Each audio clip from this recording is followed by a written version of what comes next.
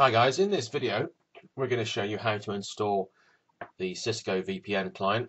Uh, I'm going to be doing this on a Windows 8 machine but this video is equally suitable for anyone running Windows 7 or any earlier versions of Windows. The process is pretty much the same.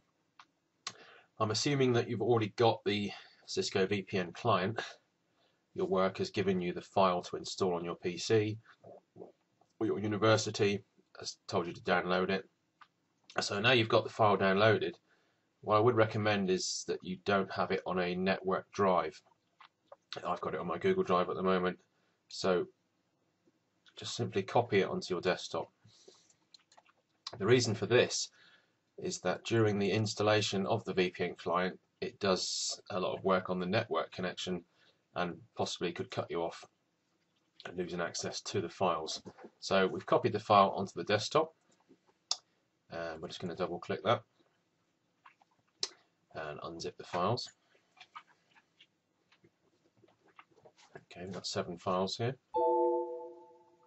Click yes to the user account control and Windows will start to install the, the client. Click next, accept the license agreement. This is telling you where it's going to install the client. We'll just accept the default in the program files. Next again. It'll extract all the files.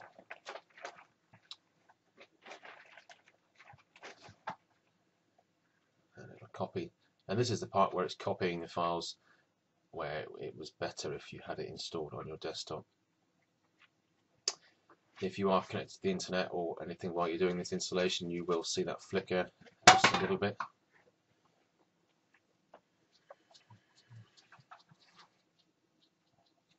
I'm going to pause the video just for a second while this is installing and we'll pick it up again when we're nearly finished.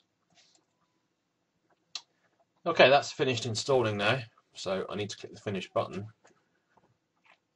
Depending on your platform, it may ask you to do a reboot, but on this Windows 8 it doesn't appear to want that. So the client's installed now,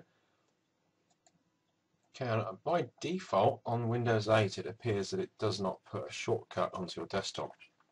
So on the Windows 8 platform we'll come here and we can see the VPN client has been put there. If I check the location we've got the start menu. If you want a shortcut on your desktop which in Windows 8 it's not really essential anymore but we'll put one there we can paste that shortcut onto the side. And now to connect to a network, you simply click on the VPN client. This starts up the Cisco VPN client and you should have been provided by your work or your university or school, whoever you need to connect to, with the address of the VPN client to connect to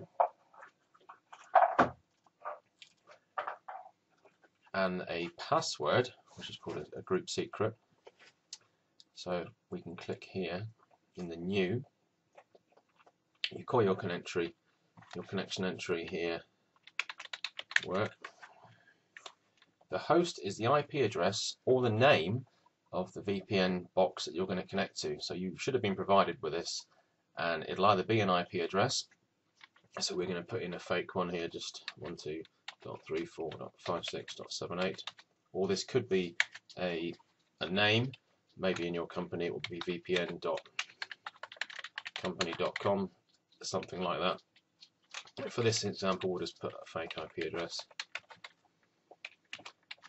The name is the name of the VPN, whatever's been given to you. So this will be Office VPN.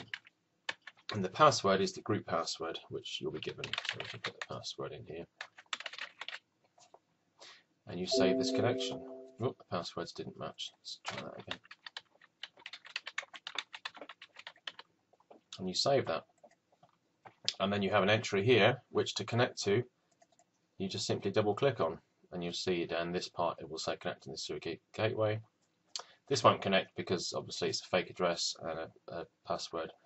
But for your situation this should work absolutely fine. And that's basically it how to install the Cisco VPN client onto Windows 8